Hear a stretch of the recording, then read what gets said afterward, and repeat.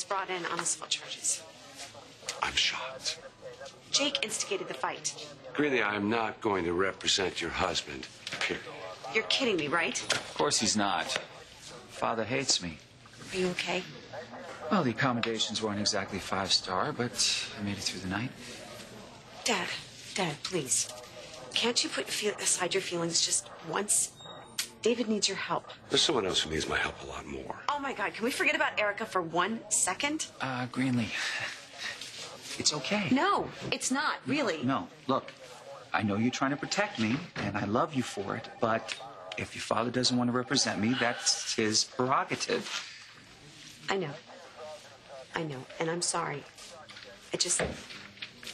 There's nothing you can do for Erica if you don't know where she is, and David has a problem that you can fix right now. Actually, there's been some movement with regards to Eric.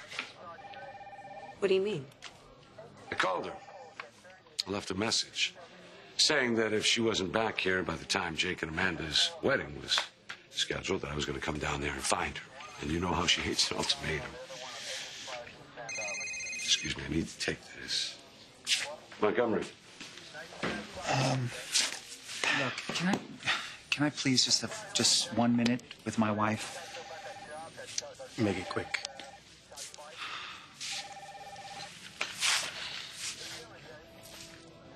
What the hell was that? I know, I know, I'm a little edgy.